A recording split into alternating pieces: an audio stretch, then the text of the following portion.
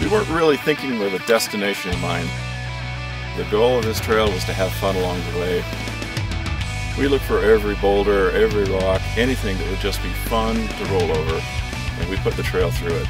We're at Slot Machine now.